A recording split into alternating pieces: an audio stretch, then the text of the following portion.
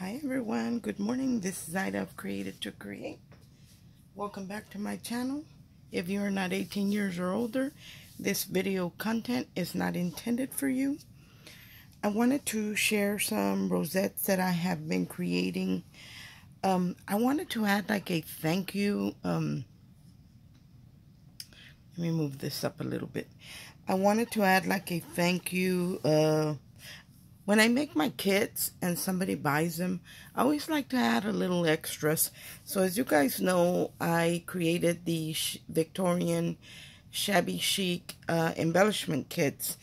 And um, so I wanted to make a some a thank you something to put in there. So this is what I created, these uh, rosettes as part of that thank you because I didn't create any rosettes to go in this kit like I did in the bee kit. So um, I thought, well, let me just make some. And I remembered that I had a corset uh, mold and I also had a little comb and brush mold. I set them aside. Where did I, what did I do with them? Uh, they're back here. So this is the little uh, mirror and comb silicone mold and all I used was air dry clay. I will um, I will link if I can find the air dry clay in the description box. I doubt that I can find these molds on Amazon. Usually the only things I link are on Amazon. And then this is the corset one. Glitter or something there. And it's very, very pretty. So this is how they came out. And to paint them, um, this first one right here is made of resin. And uh, I did use a layer of this uh, tulle that I picked up. And I'll link this in the description box. What I liked about it is that it looks like lace. And it has the uh, like sequin on it. And it's very, very sheer and see-through. So you would still be able to see the rosette underneath. You don't want to make a rosette and cover it all up and you can't even see it. So I wanted you to be able to see the rosette because when I make my rosettes, here's one right here. Um, I spray them. I hope you can see. I spray them with some shimmer mist that I made uh, following Tamika's uh, video. Tamika is Scrap the World here on YouTube. And she showed us how to make the shimmer mist with Dollar Tree products. And that's what I made. And so I spray these with the shimmer and, and it, it's very pearlescent and I love the way it looks. I use mica powders with mine. Uh, she used some kind of eyeshadow powder eyeshadow but I'm sure it works the same. Uh, I just happen to have the mica powder. And uh, I love the look. So I didn't want to cover up everything but here is the first one and I love I, I created one with a pink rosette with the pink tulle on there and I wasn't real crazy about the way it looked. Let me see if I can find it so I can share it with you guys. I think I put it away. I wasn't too crazy about it. It's this one right here. Um it was okay. I mean it's pretty but I don't know.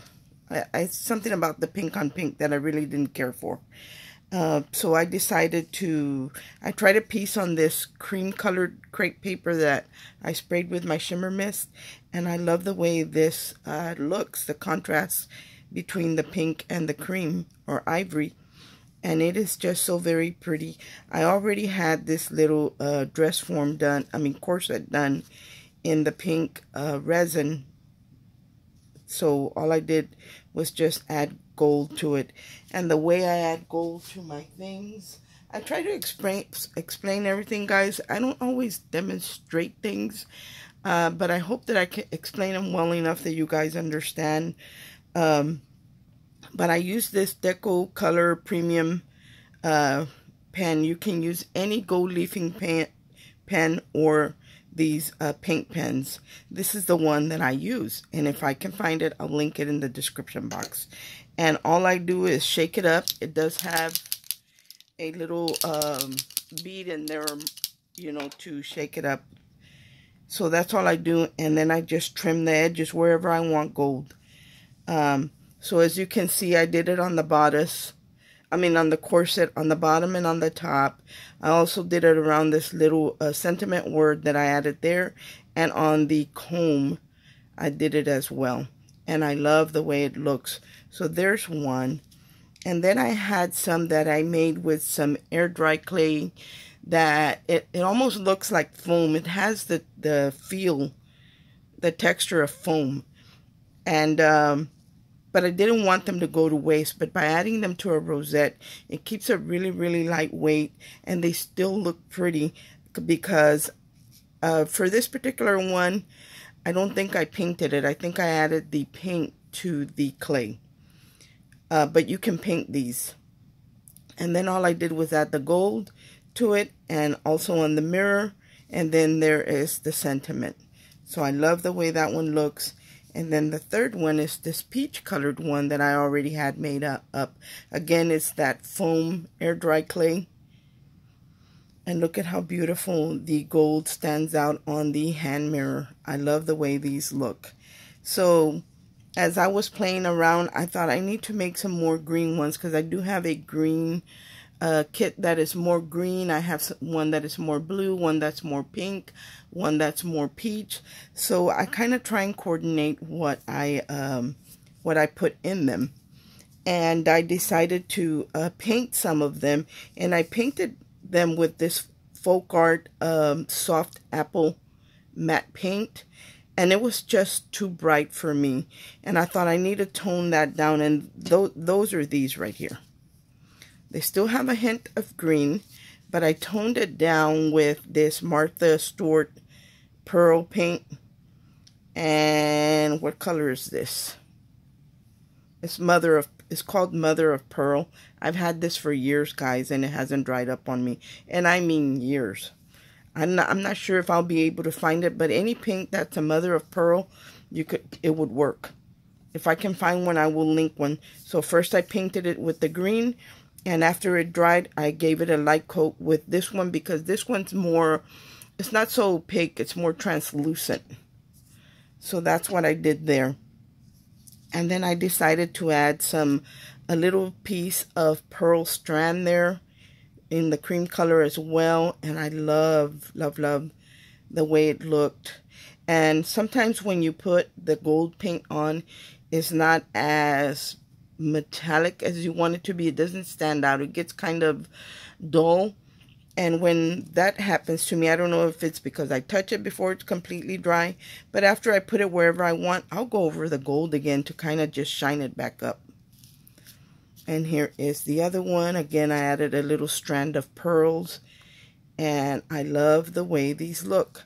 Now, I'm not going to do a tutorial on making the rosettes because Tara Finch on YouTube, uh, just look for a rosette tutorial.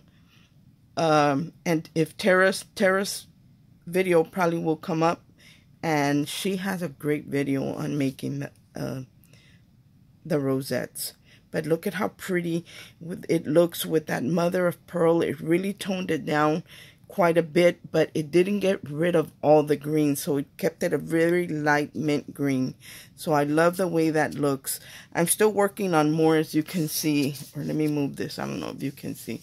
But I have a little pile up here of uh, corsets and the, the combs and the mirror.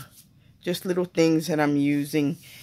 And uh, on this one, this particular one, I use the lace that I bought for my kits, which is something like this. And I just snip off bits and pieces and add it. And I try not to cover it up with whatever I'm adding to my rosette. And it just looks uh, beautiful. I love the way it looks. Anyway, guys, that is all that I wanted to share with y'all. If anybody is interested, I still have the blue kit. I have the lavender kit and I have the green kit available. And I also have a bee theme kit left over from my last kits, which is a blue one. So just um, send me a message uh, or actually I'm going to put my email in the description box and you guys can email me. Uh, I'm not going to make these rosettes to sell. th this is just to show you what I created and give you ideas. Uh, I'm adding these as just a thank you to my kids. Thanks for watching. I hope everyone is having a great day and God bless. Bye.